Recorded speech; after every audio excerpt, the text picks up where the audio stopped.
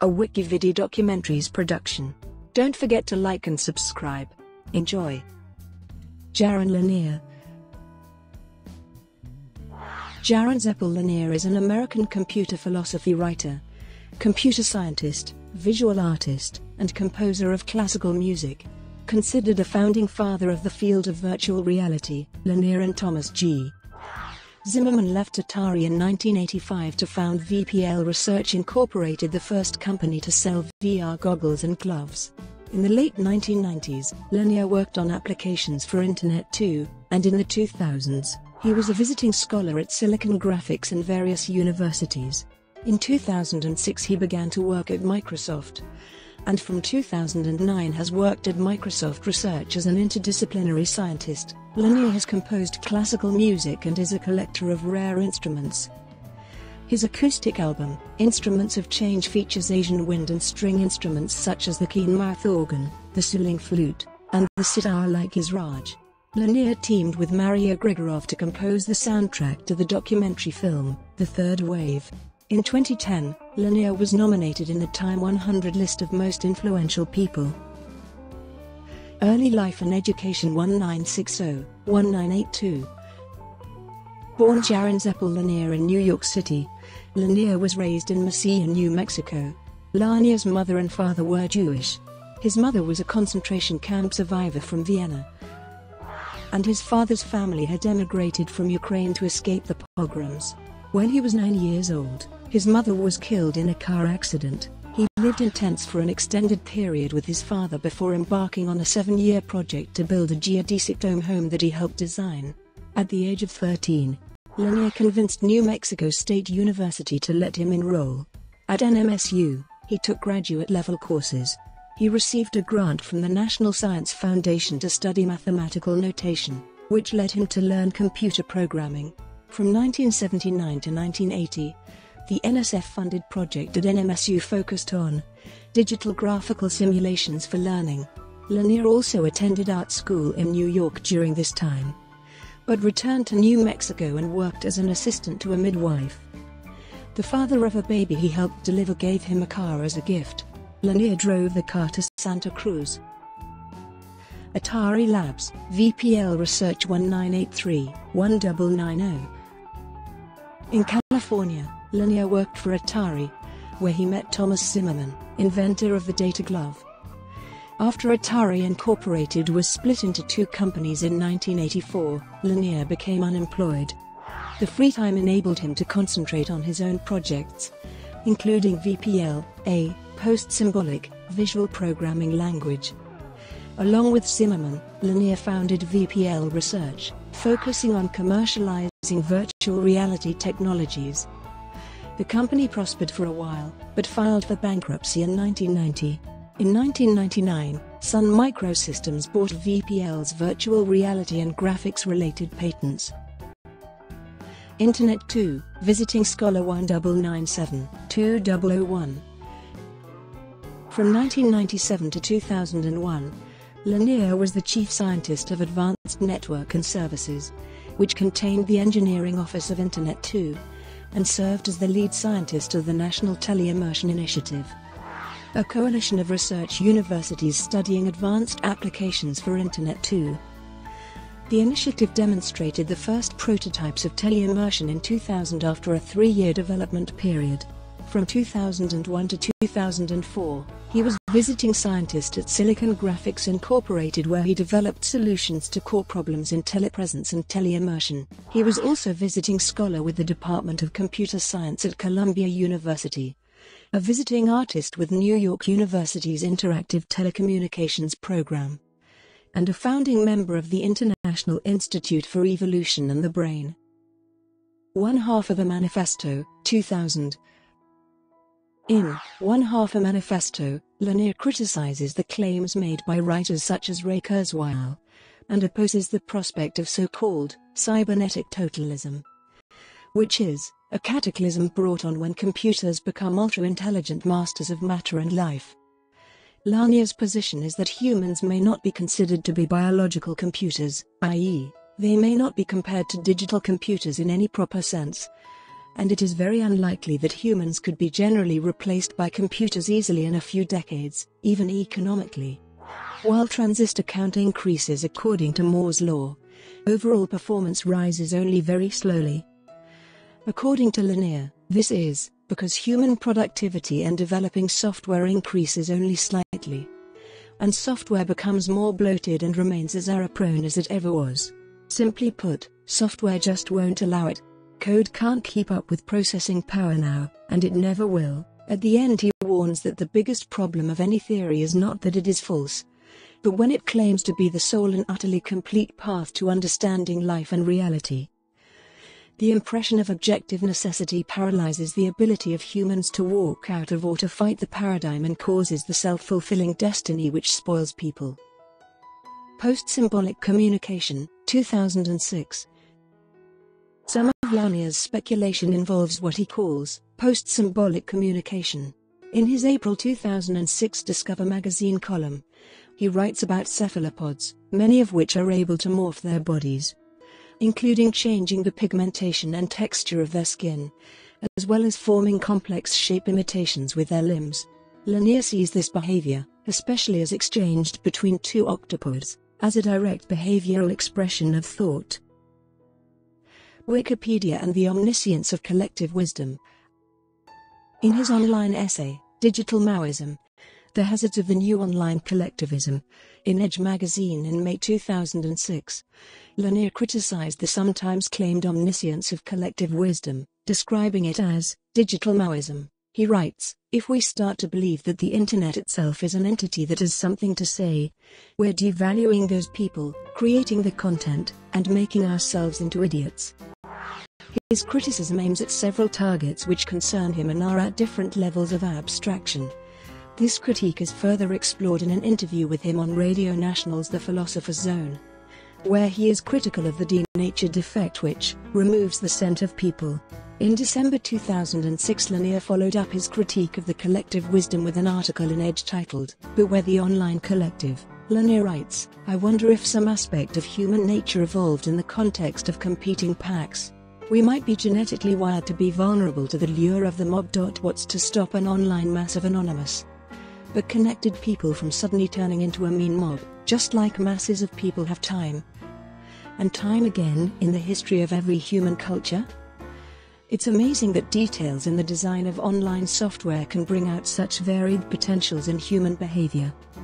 It's time to think about that power on a moral basis. Lanier argues that the search for deeper information in any area sooner or later requires that you find information that has been produced by a single person, or a few devoted individuals. You have to have a chance to sense personality in order for language to have its full meaning.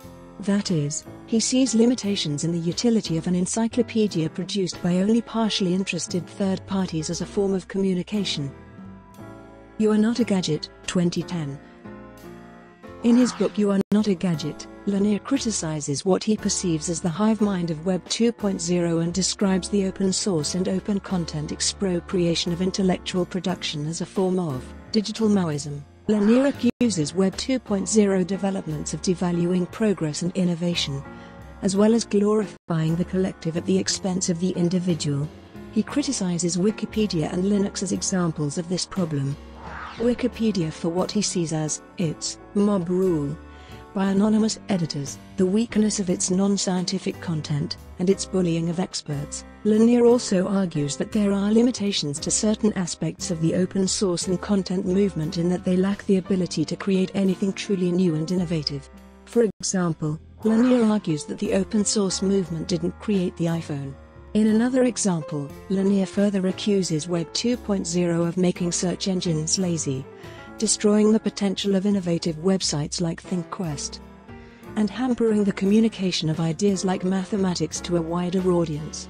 Lanier further argues that the open source approach has destroyed opportunities for the middle class to finance content creation, and results in the concentration of wealth in a few individuals, the lords of the clouds people who, more by virtue of luck rather than true innovation, manage to insert themselves as content concentrators at strategic times and locations in the cloud. In the book, Lanier also criticizes the MIDI standard for musical instrument commonality. His comments brought on rebukes from industry and artists knowledgeable of the standard and suggestions that Lanier published his comments merely as bait for debate. Who Owns the Future, 2013 In his book Who Owns the Future? Lanier posits that the middle class is increasingly disenfranchised from online economies. By convincing users to give away valuable information about themselves in exchange for free services, firms can accrue large amounts of data at virtually no cost. Lanier calls these firms siren servers, alluding to the sirens of Ulysses. Instead of paying each individual for their contribution to the data pool, the siren servers concentrate wealth in the hands of the few who control the data centers. For example, he points to Google's translation algorithm, which amalgamates previous translations uploaded by people online, giving the user its best guess. The people behind the source translations receive no payment for their work, while Google profits from increased ad visibility as a powerful siren server. In another example, Lanier points out that in 1988, Kodak employed 140,000 people when it led the digital imaging industry. By 2012, Kodak had filed for bankruptcy due to free photo sharing sites such as Instagram which employed only 13 people at the time. As a solution to these problems, Lanier puts forth an alternative structure to the web based on Ted Nelson's project Xanadu. He proposes a two-way linking system that would point to the source of any piece of information, creating an economy of micropayments that compensates people for original material they post to the web. Dawn of the New Everything, 2017 in his book Dawn of the New Everything, Encounters with Reality and Virtual Reality, Lanier reflects on his upbringing in 1960s New Mexico, his lifelong relationship with technology, and his path to Silicon Valley, part personal memoir and part rumination on virtual reality. Lanier highlights VR's versatility both in historical context and projects its functions into the future. Lanier writes of VR's capacity to engage, and inspire more than any other kind of technology. He writes that the older, poorer VR equipment might have done an even better job at exposing one's own process of perception. Since the best enjoyment of VR includes not really being convinced, like when you go to a magic show, and he underscores how VR inherently helps the user focus on reality, rather than the virtual world, explaining that the best magic of VR happens in the moments right after the demo ends. He cites modern VR's rich resume beyond gaming and entertainment. It has been used to treat war veterans overcoming PTSD, by doctors to perform intricate surgeries, by paraplegics wanting to feel the sense of flight, and as a mechanism to prototype almost every vehicle fabricated in the last two decades. Throughout the book Lanier intersperses 51 definitions of VR, illuminating its many uses, gifts, and pitfalls. Music as a musician, Lanier has been active in the world of new classical music since the late 1970s. He is a pianist and a specialist in many non-Western musical instruments, especially the wind and string instruments of Asia. He maintains one of the largest and most varied collections of actively played rare instruments in the world. Lanier has performed with artists as diverse as Philip Glass, Ornette Coleman, George Clinton, Vernon Reid, Terry Riley, Duncan Sheikh, Pauline Oliveros, and Stanley Jordan. Recording projects include his acoustic techno duet with Sean Lennon and an album of duets with flutist Robert Dick. Lanier also writes chamber and orchestral music. Current commissions include an opera that will premiere in Busan, South Korea, and a symphony, Symphony for Amelia, premiered by the Bach Festival Society Orchestra and Choir in Winter Park, Florida, in October 2010. Recent commissions include Earthquake, a ballet that premiered at the Yerba Buena Center for the Arts in San Francisco in April 2006, Little Shimmers for the Trometric Ensemble, which premiered at ODC in San Francisco in April 2006, Daredevil for the Array Music Chamber Ensemble, which premiered in Toronto in 2006, a concert-length sequence of works for orchestra, and virtual worlds celebrating the 1000th birthday of the city of Wrocław, Poland, premiered in 2000. A triple concerto, The Navigator Tree, commissioned by the National Endowment for the Arts, and the American Composers Forum, premiered in 2000. And Mirror Slash Storm, a symphony commissioned by the St. Paul Chamber Orchestra, which premiered in 1998. Continental Harmony was a PBS special that documented the development and premiere of the Navigator Tree won a Cine Golden Eagle Award. In 1994, he released the classical music album Instruments of Change on Point Music slash Philips slash Polygram Records. The album has been described by Stephen Hill, on The Crane Flies West 2, of Hearts of Space, as a Western exploration of Asian musical traditions. Lanier is currently working on a book, Technology and the Future of the Human Soul, and a music album, Proof of Consciousness, in collaboration with Mark Deutsch. Lanier's work with Asian instruments can be heard extensively on the soundtrack of Three Seasons, which was the first film ever to win both the Audience and Grand Jury Awards at the Sundance Film Festival. He and Mario Grigorov scored a film called The Third Wave, which premiered at Sundance in 2007. He is working with Terry Riley on a collaborative opera to be titled Bastard, the first. Lanier has also pioneered the use of virtual reality in musical stage performance with his band Chromatophoria, which has toured around the world as a headline act in venues such as the Montreux Jazz Festival. He plays virtual instruments and uses real instruments to guide events in virtual worlds. In October 2010, Lanier collaborated with Rollins College and John V. Sinclair's Bach Festival Choir and Orchestra for his worldwide premiere of Symphony for Amelia.